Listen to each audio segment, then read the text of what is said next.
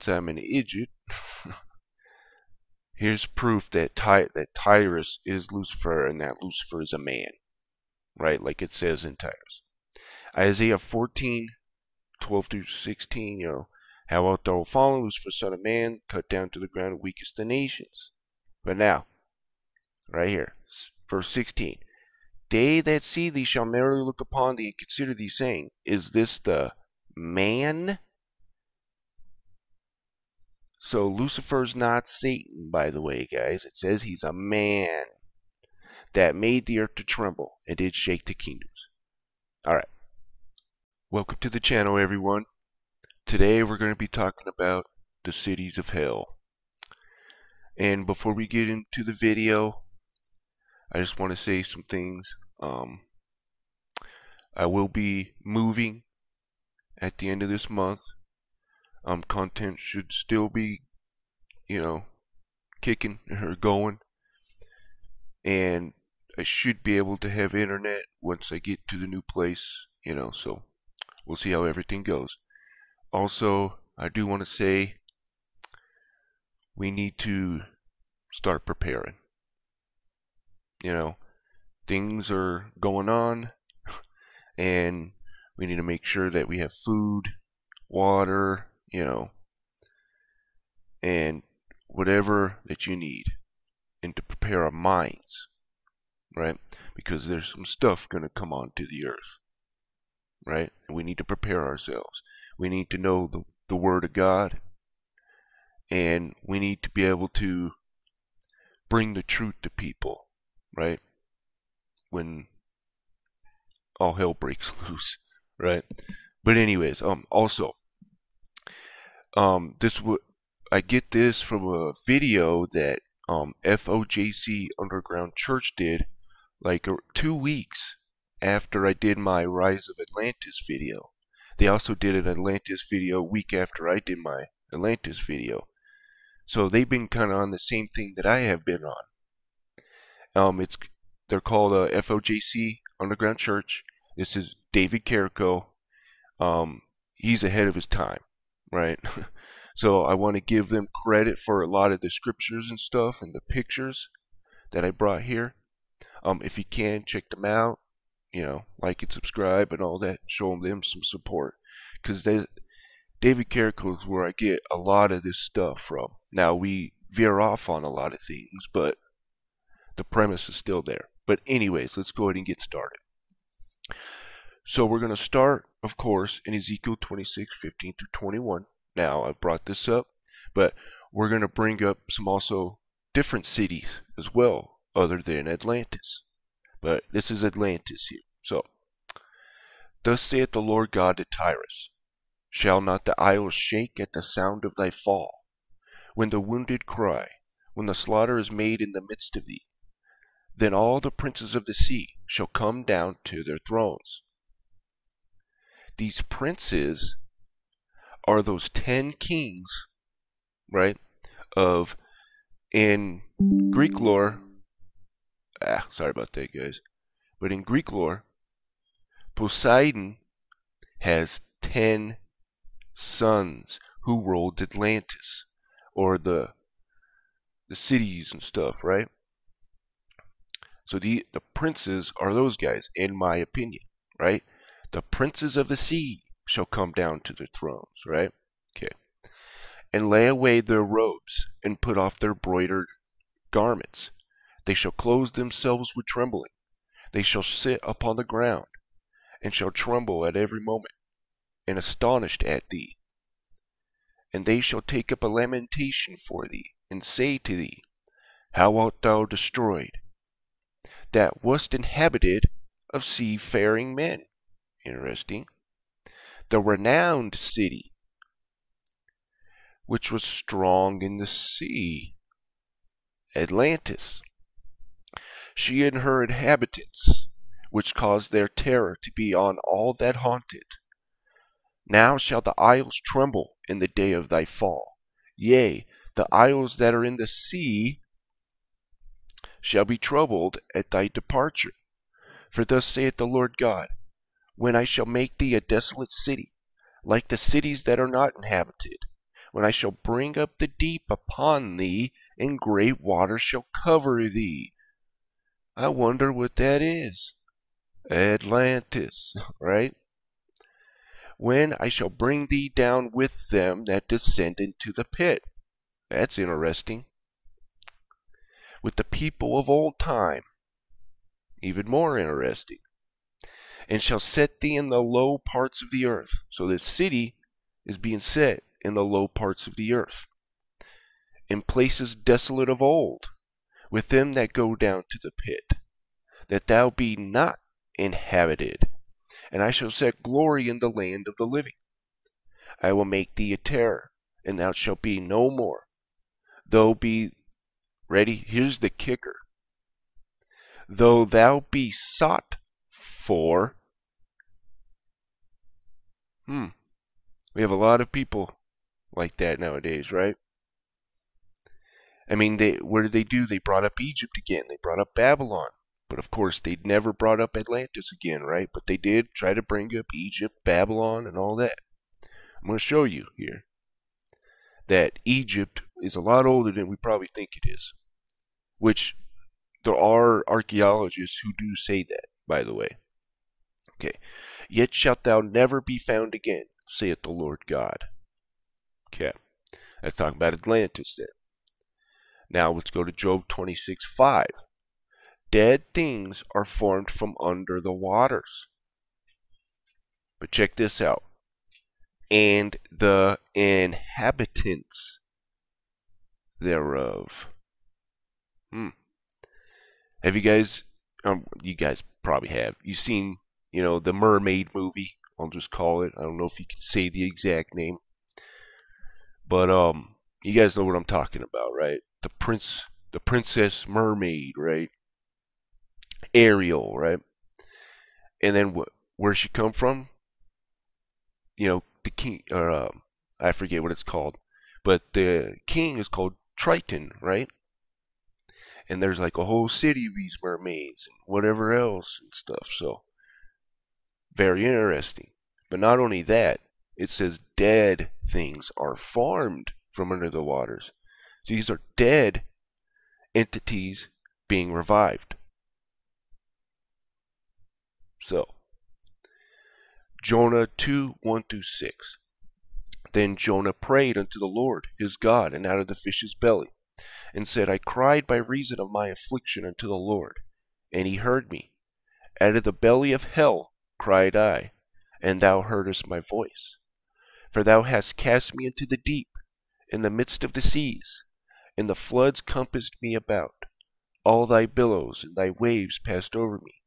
Then I said, I am cast out of thy sight, yet I will look again toward thy holy temple. The waters compassed me about, even to the soul. The depths closed me round about. The weeds were wrapped about my head. I went down to the bottoms of the mountains. That's interesting. The earth with her bars hmm, was about me forever. Yet thou hast brought me up my life from corruption. Hmm. Wonder where he was. O oh Lord my God. And it says, right? What does it say? Right here. Out of the belly of hell, I cried. Ezekiel 28 2. Son of man, this is about Tyrus again, right? Say unto the prince of Tyrus, Thus saith the Lord God, because thine heart is lifted up, and thou hast said, I am a God. I sit in the seat of God, in the midst of the seas. In my opinion, this is Poseidon, Lucifer. Yet thou art a man, and not God, though, though thou set thine heart as the heart of God. Sounds a lot like Lucifer, doesn't it? Ezekiel 28 8. And by the way, it says the beast comes up out of the sea. Poseidon is the god of the sea. So, very interesting. Ezekiel 28 8. They shall bring thee down to the pit, and thou shalt die the deaths of them that are slain in the midst of the seas. So there you go. They shall bring thee down to the pit, and thou shalt die the deaths of them that are slain in the midst of the seas. Get, getting the theme here? Isaiah 14. So, of course, you know, I brought this stuff up before. I'll get into the new stuff here, but we're just setting up the stage here. Okay. So you ready? Thou shalt take up this proverb against the king of Babylon. This is Lucifer, right? And say, How hath the oppressor ceased? The golden city ceased. The Lord had broken the staff of the wicked and the scepter of the rulers. This is Atlantis. Ezekiel 32:18 Son of man, wail for the multitude of Egypt. Wait a minute. So now we're getting into Egypt here. Cast them down, even her, and the daughters of the famous nations, unto the nether parts of the earth with them that go down to the pit. So there's Egypt now. It's very interesting. Okay. Now I'm going to show you some of these pictures here.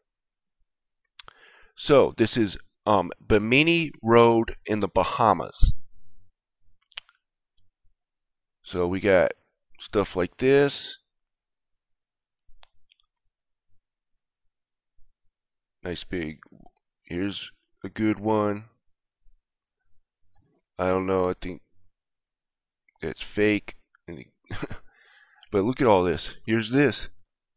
Right here. Here's these big, you know, um, rocks. Whatever you want to call them, bricks or something. Okay. Some interesting stuff here especially this one. Oh, here's a couple more.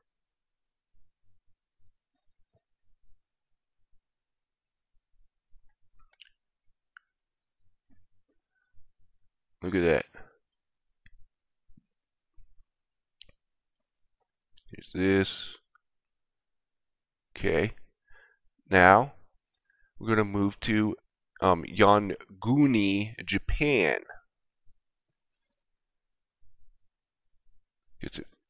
Check out this structure.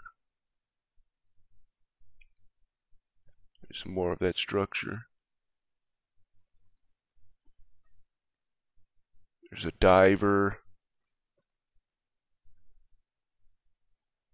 I think that's just a animated thing of it.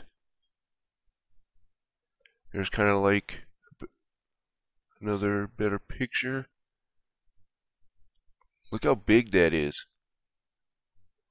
This structure right here does not look natural. Looks man-made. To me, anyways.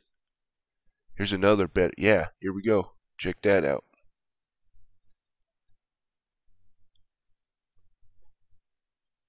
Huh. So there you guys go. Here we go. There's another good picture of it. This is too smooth right here to be natural, I think. In my opinion. Oh, look at this one. That's interesting. Okay. So now we're going to Lion City, China. I don't think that's real. So here's this. Check that out. I don't know about that one. Where's a good one? So you got stuff like this. Here's another one. It's called China's Atlantis. There we go. Some very interesting stuff. All around the world, man all around the world. Is this one?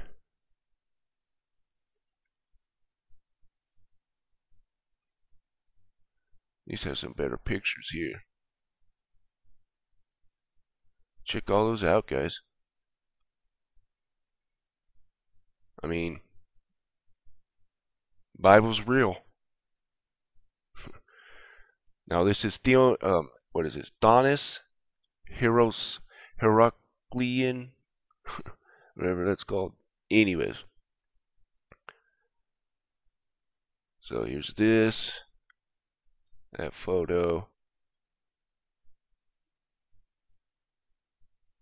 I think this is like uh, Egypt, I think. Yeah. Yeah, Egypt. City of Jerusalem, or Heraclean, Egypt. Okay, yep. Here we go. I don't know if that one's real or not. It might be.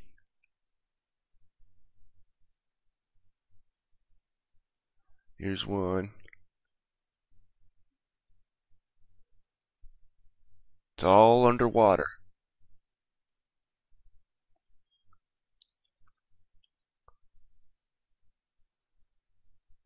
Take a look at this one. Okay. So we're going to move on now.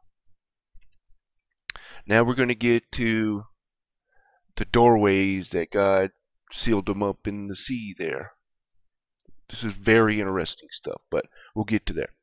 Okay, Amos 9 2. Though they dig into hell, thence shall mine hand take them. Though they climb up to heaven, thence I will bring them down. Very interesting. Um, Nimrod tried to do that, right? He tried to climb up to heaven. And then we kind of dig in with our little bases and stuff like that, right?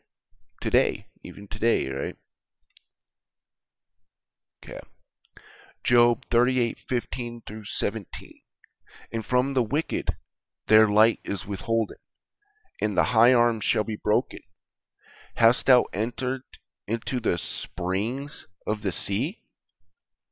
Or hast thou walked in the search of the depth? Ready?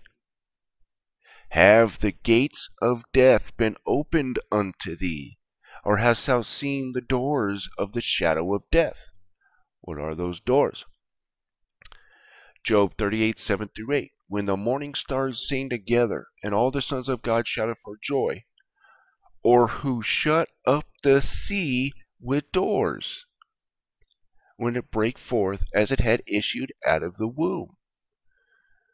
So, what are these doors? the Bermuda Triangle. This is very interesting. I'm not saying they are, just this is very interesting stuff. These vortexes around the earth, right? So I'm going to read this. This this person makes an or something very interesting about Atlantis here. So, for decades, the Atlantic's or the Atlantic Ocean's fabled Bermuda Triangle has captured the human imagination with unexplained disappearances of ships, planes, and people interesting. Some speculate that unknown and mysterious forces account for the unexplained disappearances, such as extraterrestri uh, extraterrestrials capturing humans for study. And you know what's interesting? You see a lot of UFOs coming up out of the sea. So think about that one for a second. okay. The influence of the lost continent of Atlantis. Hmm. Vortice, vortices that suck up objects into other dimensions. Other whimsical ideas, some explanations are more grounded in science, if not evidence. These include oceanic um, flat, flatulence, methane gas erupting from ocean sediments, and disruptions in geomagnetic lines of flux. So, there you go. But look at this. So we got dark waters, the most mysterious places on the sea. First one we have the Bermuda Triangle, right? The Sargasso Sea. Or Sargasso Sea, sorry. The only sea without shores. The Sargasso, Sargasso Sea is or is a region in the middle of the North Atlantic Ocean that is surrounded by uh, the uh, surrounded by ocean currents. These currents deposit marine plants and garbage into the Sargasso Sea, causing it to be full of sargassum, a, um, a genus of dense brown invasive seaweed. Kind of interesting that we just read in Job, right? But anyways, because of the seaweed buildup and isolation created by the currents, the sea remains eerily warm and calm despite being surrounded by freezing and choppy waters of the Atlantic Ocean. This eerie calmness contributes to the area's mystery, as several ships have been found drifting crewless through the peaceful waters.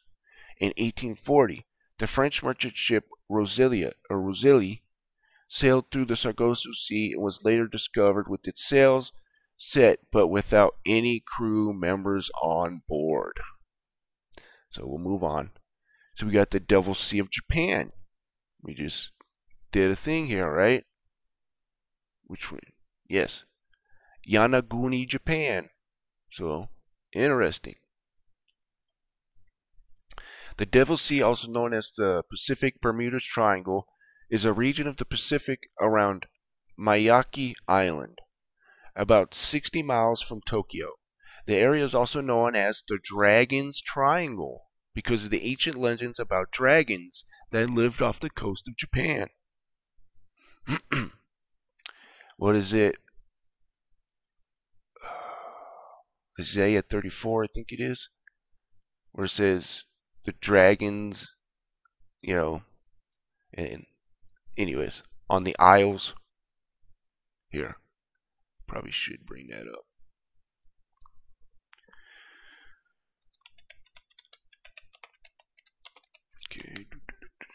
Isaiah 34 was right. So the wild beasts of the desert shall also meet with the wild beasts of the island.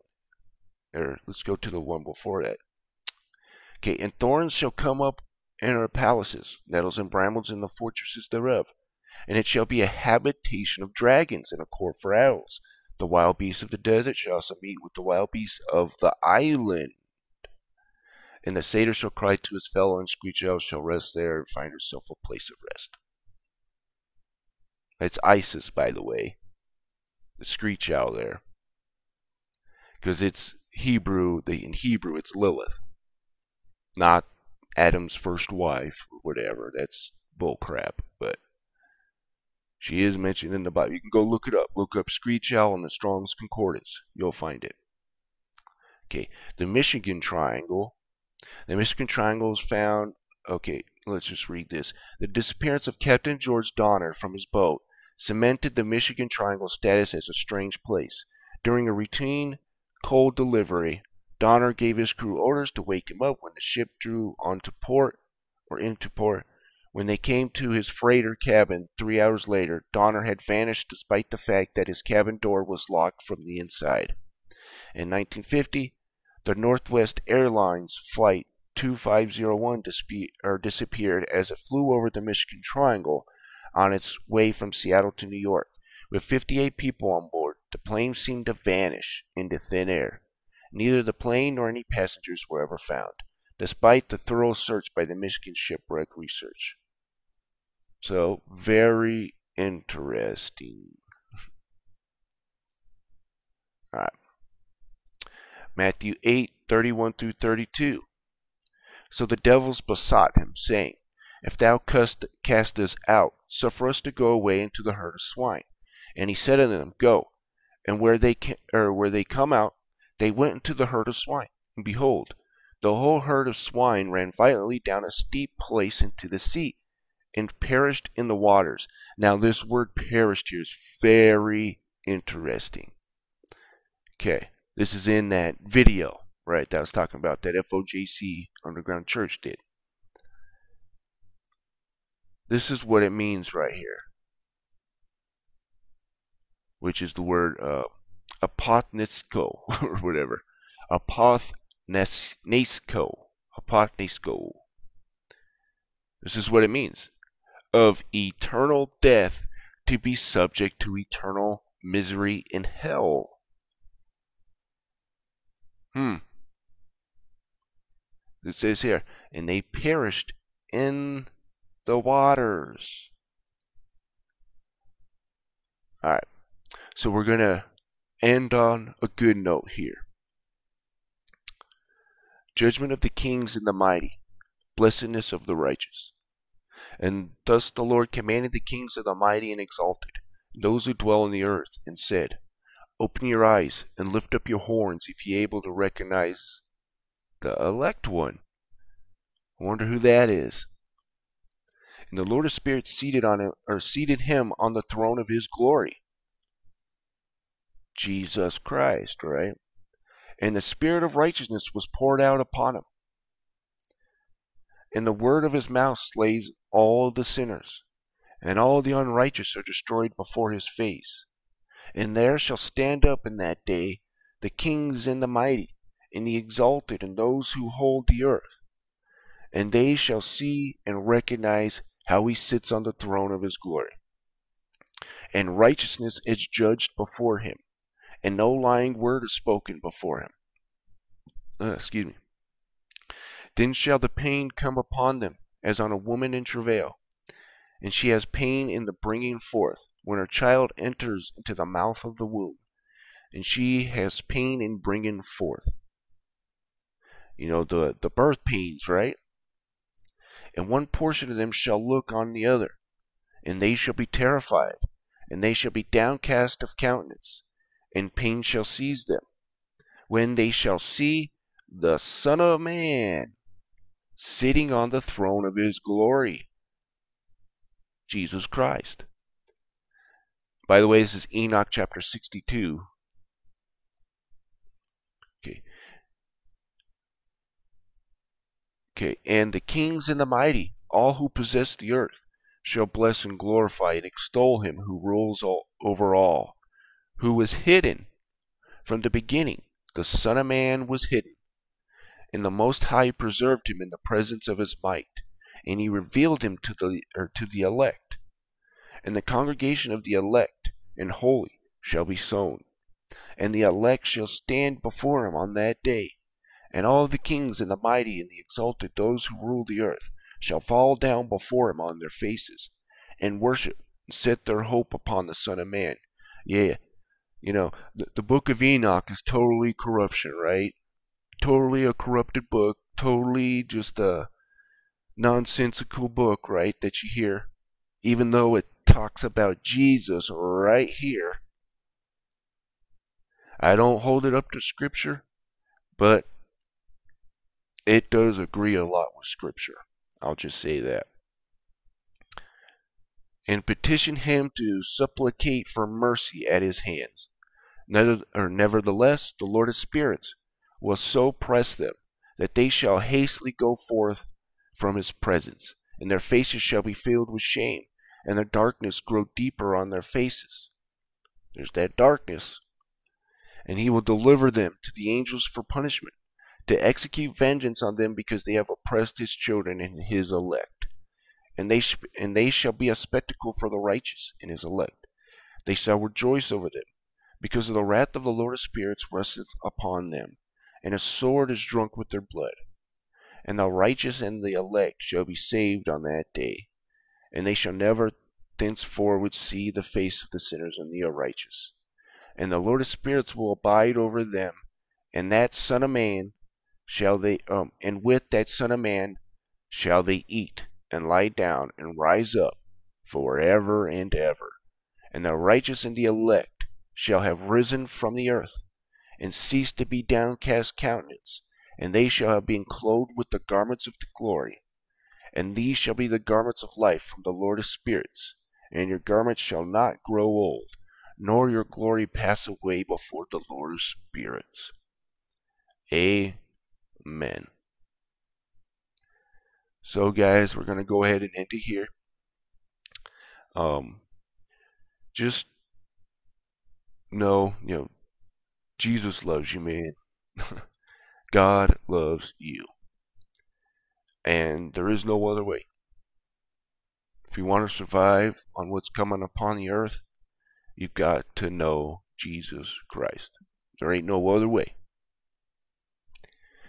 But anyways, guys, I really thank you for listening, giving me an audience and supporting me, even though I don't deserve it. but anyways, guys, thank you. And you guys have a wonderful day.